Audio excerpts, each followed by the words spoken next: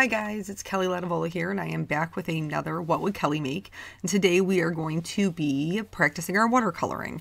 Um, so of the parcel that I got, the one that I ended up choosing was the Wild Rose Studio. Uh, the parcel had this snowman stamp set in it, which I just thought was completely adorable. And it also had um, winter cottages. And I just felt like they would lend themselves really well to watercoloring. So there, I just, I can, I can just imagine endless amounts of cards that I can make with this Winter Cottages set. I just love it. There's like a little church and a little house and they're adorable. So anyway, I'm working on Canson watercolor paper and I'm stamping in Distress ink. I'm stamping in Distress ink, very light color. This is antique linen because Distress inks react with water. And so when I do the watercoloring over top, that ink will just blend in and it'll give me a no line look even though I didn't do it with no lines. Uh, I did stamp it twice because watercolor paper is pretty textured and I wanted to make sure that I was going to be able to see everything, especially their facial features. And then I picked the small little house cottage that was like set off in the background for a perspective so I could fill up my whole card. Um, the other images I really, really loved, but they were just too big um, to put on the same card with this large snowman stamp. So I stamped that twice. And then I have just a paper towel. I have a number two round brush from the Silver Brush Company. Two containers of water. One of them you can see is already dirty because I already filmed the technique video. And then I have a palette here and I bought my, these are Daniel Smith watercolors. I bought mine in the tubes, and so I've just squeezed out a little bit into this palette, and I just leave them in here. I put the, I close the lid over top of it. Um, they dry out in there, and that's why you saw me like dropping little droplets of water to just kind of re-wet my inks. And, um, or you could do it with a spray bottle, either or, whichever works for you. This is just a little bit, I guess, cleaner for me. So basically what I'm doing is, is mixing up my color and I'm going to pick up the color, I'm going to blot off the base of the bristles onto a dry paper towel, baby wipe, whatever you have handy. And then I'm just going to put the color down where I want it to be the darkest. So now when I did it that time, I didn't blot enough moisture off of the brush. And so I just put down way too much water. That's okay. Watercolors are actually really forgiving. So you can just blot it up with that paper towel and it's not even going to be like it was ever there. So again, I'm just putting down that color where I want it to be the darkest. And originally I started off with a little bit of a, um, a lighter blue and it just wasn't enough. So after I put down the color, I'm going to clean off my brush, take clean clear water, again blot the bristles, and then I'm going to put the clean water in the clean area. So like on the snowman's belly, I'm starting in the white area, and then I'm going to take the water to the pigment. And this is just going to blend out that edge and make it softer. Um, if you start in the area that has the color, you're just going to drag that pigment throughout your entire piece, which usually you don't want to do. That's not going to be enough control of where your color goes. And again, this is just, um, it all depends on the kind of look that you like. I am going for a very controlled, a very, um, what they call tight versus loose. Um, this is a very controlled watercolor. So I'm just building up that pigment. That's two things that I really, really struggled with watercoloring. And I jokingly call this adult watercoloring because I'm like using legit watercolors and not just like distress inks. Um, not that you can't legit um, watercolor with distress inks because you totally can the reason I differentiate between the two is because typically when I'm doing watercoloring with distress inks, I'm just like slapping it on. It's a background. I'm not trying to really do anything with an image. And that's really how I'm most comfortable watercoloring. This is a little outside my comfort zone, but I'm a huge fan of all of us kind of just pushing past our boundaries and doing something that makes us a little bit uncomfortable because that's how you're going to learn things. And then as you get good at that, that's also how you're going to gain confidence in your card making, which again, huge proponent of. You should be confident in what you're doing. I guarantee you whatever you're doing is is beautiful. So that is my the one thing. I always just felt like I was doing it wrong. Um, I couldn't get the results that I wanted. I would get very, very frustrated. And so I found that with detailed image like this, really, really controlling it um, controlling that color just has made me so much more comfortable. The second thing that I had a, a real struggle with with watercoloring is I was always using too much water. Always. I was putting way too much water down. I had no control um, over where that pigment was going, and it would just leave me feeling very frustrated. When I'm putting down this water, it is a super, super light sheen. That's it. It dries in like 10 seconds. Now, this is all dry now, and I'm going back in and just kind of deepening up those shadows, which is something else that you can do. So I haven't added any, like it's the same color that I was using before, but because watercolors are transparent, they'll they'll build up on each other. So I can go back in with the same color and put it just in the deepest, darkest parts, and I'm not going to blend this out. You don't ever have to blend it out. I, I should have said that in the beginning you don't have to. If that if you like really hard lines, that's totally fine. I wanted kind of a combination of the two. I wanted that soft blended look, but then I also wanted there to be definite shadows. And I think that that's really pretty. So here I've colored all of the snowmen. Now they are white. We've just added the shadows and right now they look pretty blue, but we're going to go in and add um, more colors. And as we add more colors, those white snowmen are really going to start to look like they're actually white and not like they're blue. So I am using, um, when I bought my watercolors, I picked up the oh I can never say you ever you ever look at watercolor names and wonder just who's naming these probably the same people who are naming nail polishes um, so this is quinacridone rose and it is a little bit more pink. So in order to get a true red shade, which is what I wanted, um, I actually mixed it with a little bit of quad, I can't even say it. I said it one time successfully, and that's all I got in me apparently. Quinacridone gold. So the mixture of the two, and I definitely used more rose than gold, gave me more of a, a true red color. So here I started off by um, putting down a little bit of color, blending that out, and now I'm trying to get some shading. Because see, because I'm a colorist and I'm like Copics or where my heart is, I want to do kind of the same things that I do with Copics. And sometimes that comes back to bite me. So basically I started trying to shade this way too early and you can see I just have one solid red hat. I have no differentiation whatsoever. That's my own fault. Um, I wasn't patient enough so I'm just going to leave it to dry and I'm going to come back to it in just a little bit. For this scarf, I'm going to add shading to the left and the right. And then I'm just going to keep building up that shading on the sides. Where that area is wet, you can keep um, just adding pigment and it'll keep mixing together. I'm not worried about the center quite yet. I'm just going to add that color to the sides. And then I'm going to go in with that clean clear water and I'm going to put it down in the center and I'm going to make sure that center is good and and um, saturated. And I don't mean bubbled up. I mean just the area is is damp. Just that sheen. That's all we're looking for. If your water is bubbling up, it's too much water. Um, and then I'm going to, what I did was take it out to the edges of that red and I'm just letting the water do the work. I'm letting it kind of do its own thing. And I'm just going to, when I want to add more shading, because clearly I don't want him to have a red and white scarf. I want him to have a red scarf. So as I want to add more shading, I'm just adding it to the same spots, those outside edges. That little hat on the left has dried and now I can go back in and add shading there. So you see me kind of working back and forth. That happens a lot in watercolor because you have to wait for some areas to dry before you can work on them again. You can't work on two areas um, next to each other that are wet. The reason that I'm can do it with this scarf and this hat, besides the fact that there is a minuscule little area between them, um, is that they dry so quickly because we're using next to no water. So for the darkest part of that, any of these reds, I am going in and shading with the, um, what is it? It's permanent, it's permanent brown. It's permanent brown. And um, I am using that with just a little bit of the uh, rose. And you can't see it. I apologize. My palette's too big to fit on the camera and still be close enough for you guys to be able to see what I'm doing. So sacrifices had to be made. I figured it was better to leave the palette off than to leave the coloring off because, well, isn't that what you're here for? Um, so I have sped this up now. I showed you guys in real time the snowmen part, you know, the majority of the scarfs.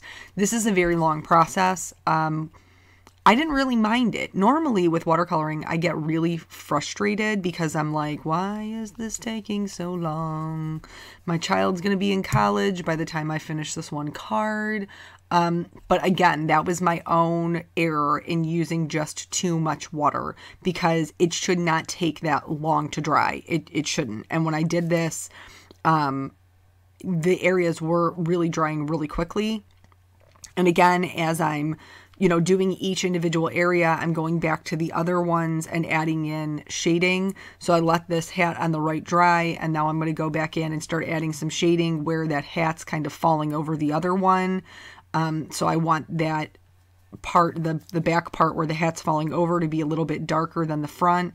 This snowman's uh, head is also kind of like nestled up underneath the other snowman's. And so I wanted that part of the hat to be darker for this the scarf on the left hand side um, that I'm doing the adding the more shading um, with that mixture of the permanent brown and, and the quinacridone rose. Um, I'm also doing the berries on his hat. And for the berries on his hat, I basically just filled it in with the red because they're so small, they're so tiny. Um, I filled it in uh, with the lightest red and then I went back in and added a little bit more shading and then I used the darkest color to just do little half circles to kind of separate them from each other. Um, another one of my frustrations in watercolor was that I had a really, really hard time keeping everything kind of separated in a no line coloring look. I have the same problem with Copics and no line coloring. I get um, I don't know, I get nervous. Like that little bold black outline is my little security blanket and I need it. I don't know what happens when um, I don't have the bold black outline. You see me drop my uh, paintbrush there? Yeah, I'm professional. I dropped my paintbrush probably, I don't know, three or four times while I was doing this. I have no idea why why it just like slipped out of my hand and thankfully like there wasn't any pigment on it. The only other time in my life where I just dropped everything was when I was pregnant. When I was pregnant with my son, I don't know what happened to my coordination, um, but it left. It left the building for the full 10 months. I dropped everything all the time. My my poor husband uh, was just paranoid, just absolutely terrified I was going to fall while I was pregnant. I don't know why that was something that just got stuck in his head, but it was. And um, so the one, well, okay, so we were at a party and I dropped a cup of coffee. This this will give you some indication of what my state of mind was. We were at a party. I was in the kitchen. Um, my nephew, I think, was opening gifts in the other room, and my husband asked my brother-in-law, "Where's Kelly?" And so he kind of like peeps his head in. I have dropped a cup of coffee. Thankfully, the, the cup didn't break because it wasn't even my cup. It was my sister in law's cup. but I felt bad. Um, but it, I was cleaning up the, the coffee. And so he goes, uh, my brother-in-law looks back in the room and he goes, she dropped a cup of coffee, she's cleaning it up. And my husband's first question is, is she crying? because I was just like, your hormones are crazy. You're, you cannot be held responsible for anything that you do while you're pregnant. Um, but anyway, so I was working day shift and I had to get up at like 4:30 in the morning and the night before I had just really wanted hot chocolate. My son's birthday is in May, so I was super pregnant in the winter months. And so the night before, I really wanted hot chocolate, and I make my hot chocolate with milk. Some people make their hot chocolate with water. I don't. I make it with milk. And so I had left. I was tired. I wanted to go to bed. I left the cup sitting in my craft room the night before. Side note, let's talk about these little white areas. So you can see that I'm shading the their hats and um, their little, what are they, little puff balls? I don't know. I'm calling them little puff balls. That's what I'm calling them. Um, I'm shading them with a, a light-ish purple. The reason that I chose to do purple instead of blue is because I wanted to, there to be some differentiation between the snowman bodies and their hats. And you can really shade white with, I mean, you can do gray, you can do blue, you can do purple. Um, those are all just kind of colors that are pretty natural in shadows of items that are white. So that's why I decided to go with a slightly different colors because I wanted them to stand out from one another. I didn't want them to all look like the same color. Um, so, anywho, back to the story. So the next morning I get up at 5:30 in the morning. I realize that I have left this hot chocolate sitting out all night long, and so I pick up the cup of hot chocolate. My husband's in bed sleeping. Pick up the cup of hot chocolate and I am going to walk into my kitchen. Now, I don't I still to this day do not know what happened. I didn't trip, I didn't fall, I didn't bump into anything. Literally just walking down the hallway, I just dropped just dropped it. Just woo, let it go. And the way that the so the mug didn't like hit the ground and like dump over. The mug hit the ground perfectly on the bottom which caused the contents of the mug to shoot directly up into the air.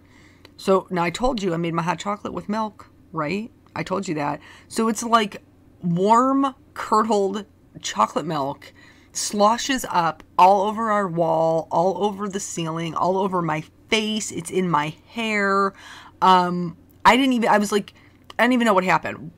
I was just standing there in, in utter disbelief of basically what just occurred.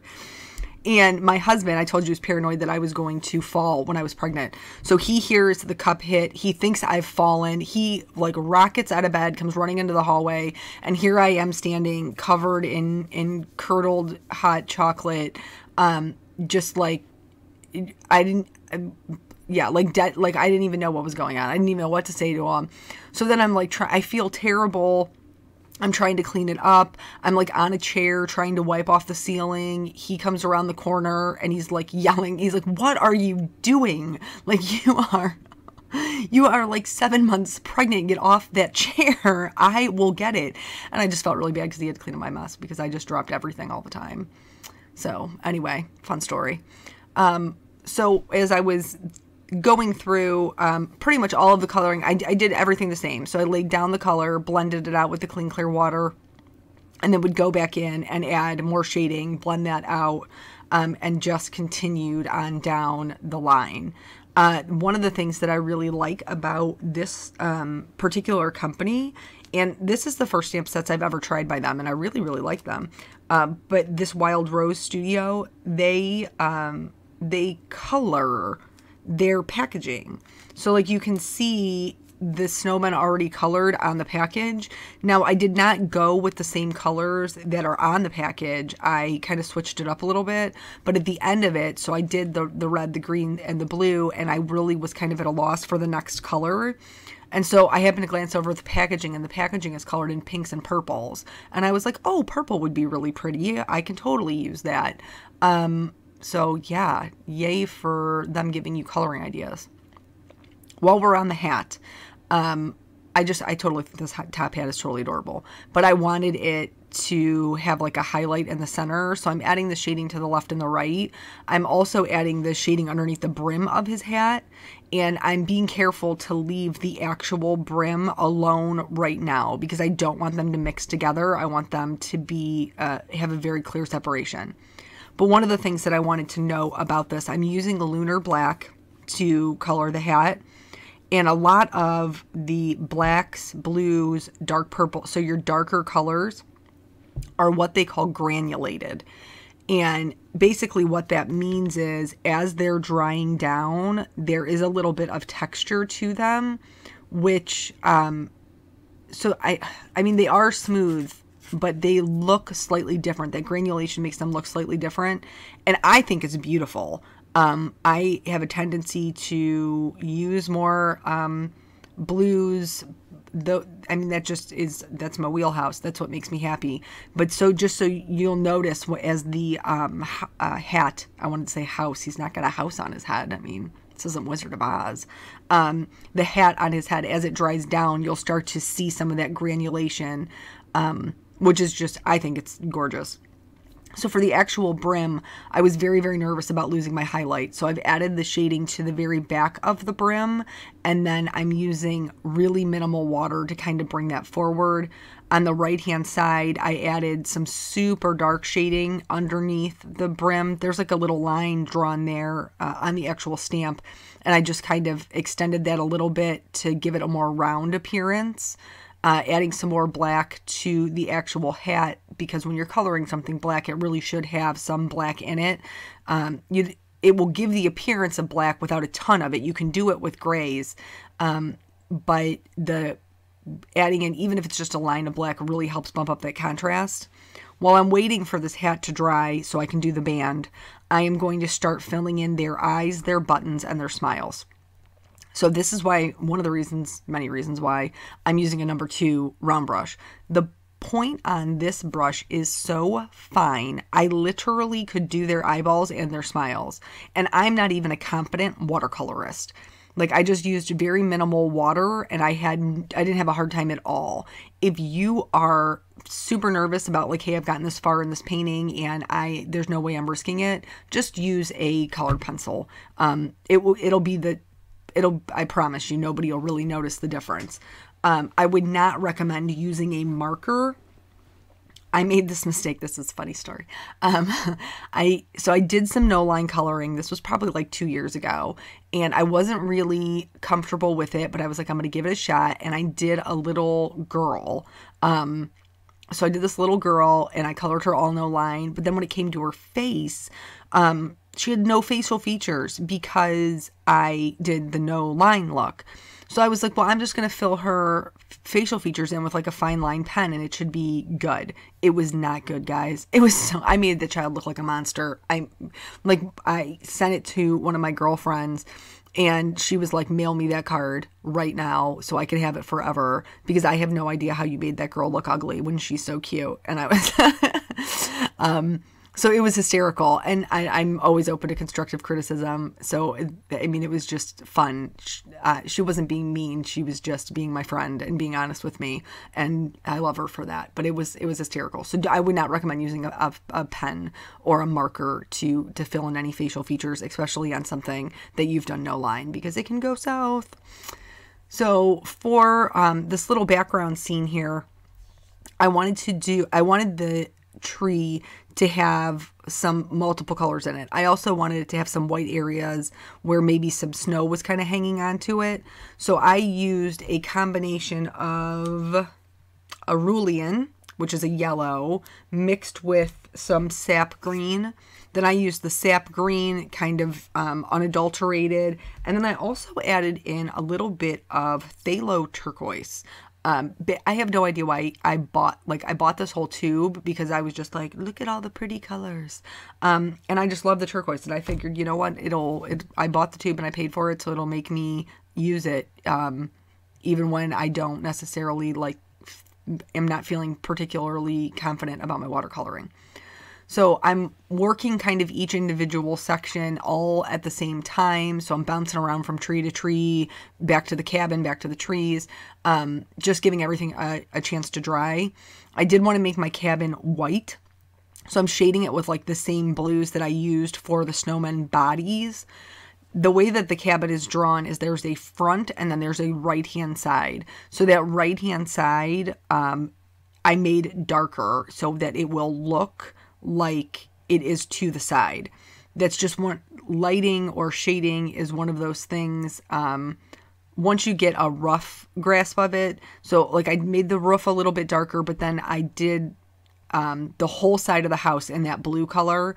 And then I made sure that I added um, some pretty heavy shading on the side of the roof. So once this was all done, I wanted to put some background in the color. So now the background in the color, Kelly, really, some color in the background. wow. Um, some color in the background. And so I'm using uh, kind of a, a mixture of that same blue. I just mixed up a lot more. And I drew myself in as like a secondary hill and I laid it down. I'm doing the same thing that I did with the images, guys. I laid down the color and then I went in with clean clear water and kind of brought it out. I went back in with some color and then, you know, went back in with clean clear water and kind of like dragged it out, um, going around those areas that I had already watercolored. And I just went back in um, for the hill, just on the underneath of it, just to smooth it out, just to smooth out that line. And then I'm going to do the same thing, adding a little bit of shading underneath the snowmen, um, same way that I, I, did everything else. So I was actually really pleased with the way that the card came out, um, and I'm glad that I tried it. And I hope that even if you guys aren't comfortable with watercoloring, this will be something that you try as well. If you don't have watercolors, don't stress. You can totally use distress inks, um, the oxides or the regular inks. Uh, there's nothing wrong with them. I when I say adult watercoloring, it's just me joking. Um, so that is the whole card. Thank you guys so much for joining me, and I will be back next month for the next installment.